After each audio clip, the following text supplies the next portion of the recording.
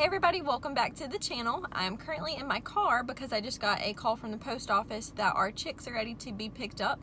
So I'm on the way to get them. Um, we ordered them back in December. We ordered pretty early and they shipped and hatched on Monday. Today is Wednesday. So I just got a call that they are ready at the post office. So it didn't take that long to get there. So I'm gonna go pick them up and get them set up in their little temporary brooder and I'll catch back up with you then.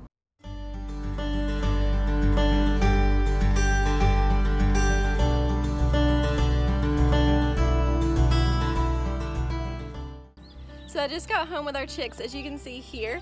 Um, but side note, I guess our mail lady, she correlates our house number with our pig Hank because before she opened the door to hand me the chicks, she said, oh, these chicks are about to go play with their pig. So does that mean we live in a small town or?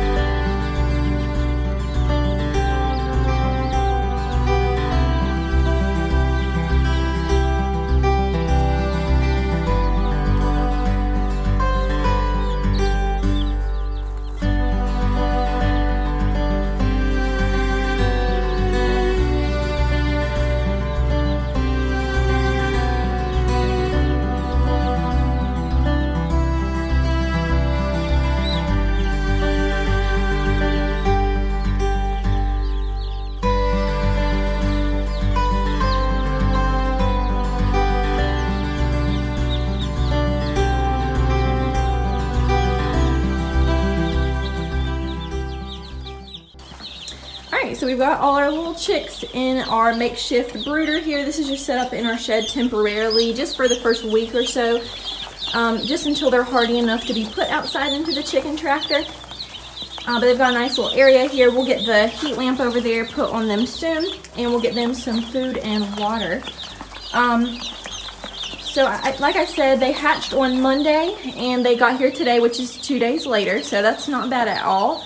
And you may be wondering how they're able to ship live birds in the mail. Um, the Postal Service is the only place that actually does it.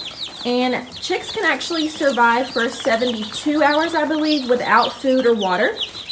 And that is because when they hatch, they eat the egg yolk that is in their egg.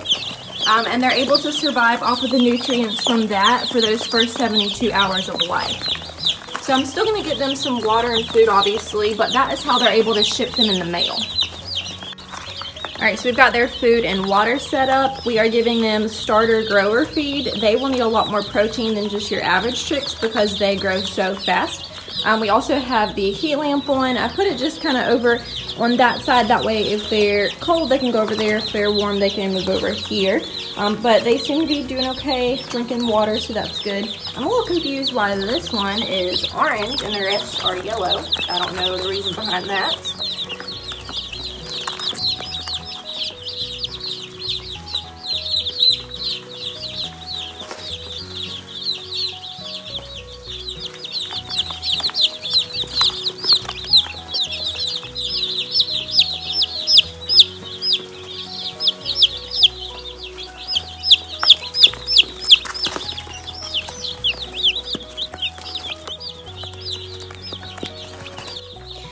So we ordered 60 meat birds in total. Um, we were expecting to have a few casualties just because meat birds, they're not the hardiest. Um, we got the jumbo Cornish cross and we did the straight run. So um, just male or female, whatever they sent is what we got.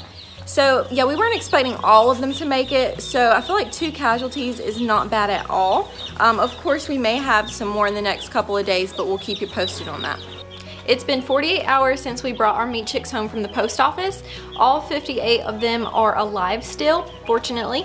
Uh, we ordered our meat chicks from Meyer Hatchery online and they have a 48 hour live guarantee so we will get a refund um, for the two chicks that we lost before they got to us.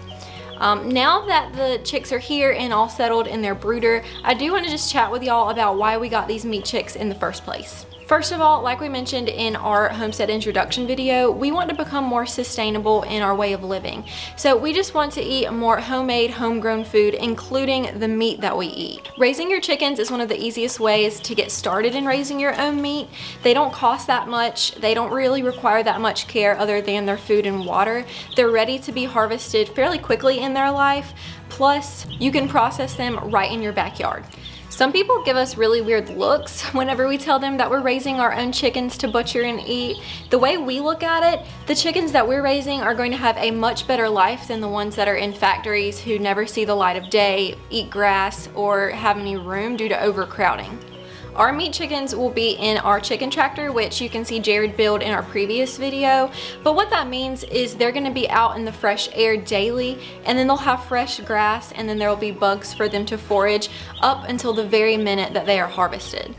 Our chickens are also antibiotic free. That's just how we chose to order them without any prior antibiotics. So we're gonna know exactly what we're eating and where it came from, plus what it took to get it on our plates. And that's just much more comforting to me than going to Walmart and just getting any chicken off the shelf and just not knowing the history behind it, what it ate, where it came from. So not only is it gonna be healthier for us, um, but it will also for us and Addie when she's old enough to understand, will make us more grateful for the sacrifice that those animals had to take um, for us to eat, for those animals to be on our plates. So like what I was just saying, it makes you think about what that animal had to go through to be put on your plate. And I feel like that just makes it less likely for that chicken or whatever animal it is to go to waste. You're gonna want to um, almost honor that animal, respect that animal, and eat every bit of it, not waste any, not throw any in the trash. And I think that's something that everyone should talk about, even if you're not raising your own meat. I think that is just something that everyone should keep in mind.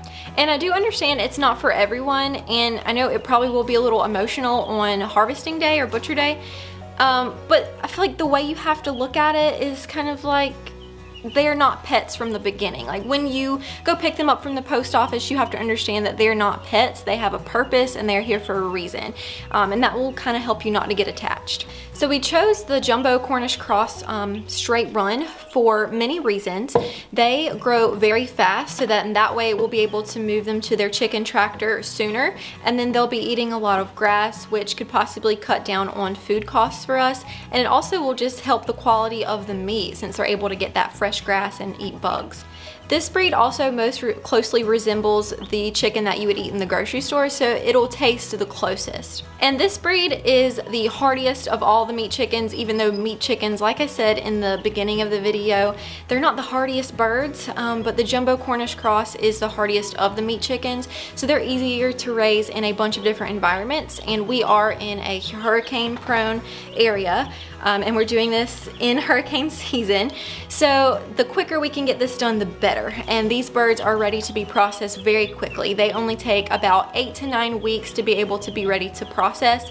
And that's just really depending on your preference for the size of the bird that you want. And once you process these birds, they're gonna average out to about five pounds per bird, which is ideal for cooking so you don't waste as much. There's little to no waste after you're finished. So, however, um, that one orange chick that I showed you in the beginning of the video, I feel like it's a Freedom Ranger, even though we did not order any Freedom Rangers. We were supposed to get just 60 straight Cornish Cross. Um, I feel like that's what it is. I don't know if it was just a mistake or what, but I'm not mad about it. We chose not to get the Freedom Rangers because they take a little bit longer to process. They typically are ready at about 10 to 11 weeks, and I've read that they taste a little gamier. They're not like your typical grocery store chicken and they're usually still a little bit smaller when you go to harvest them. So that's the reason we didn't go with this breed.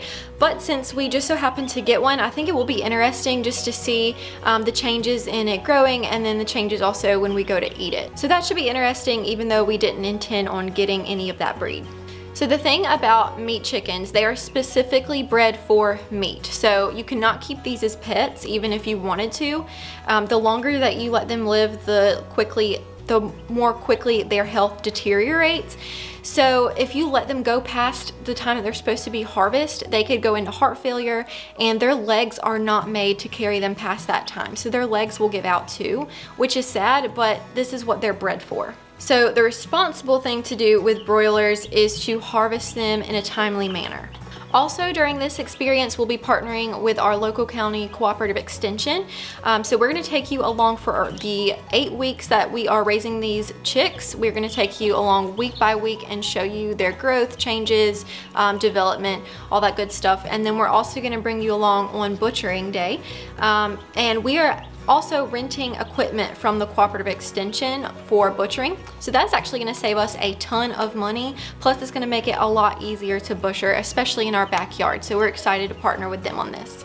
And once all our chickens are butchered, we are planning on keeping a good bit for ourselves. And then if all goes well, we're gonna try to sell some locally, um, but we're very new to this, so we're just gonna see how that goes. So that's really all I have to say about the meat chickens so far. Like I said, we are gonna take you week by week and show you their growth and development, and then also bring you along when we harvest them.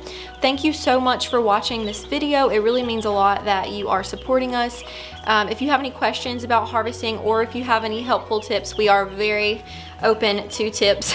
please drop some comments down below and then please subscribe so you can follow along on our journey as we harvest these meat chickens and raise them. And don't forget to like the video because it lets us know that you are liking our content. See you in the next one.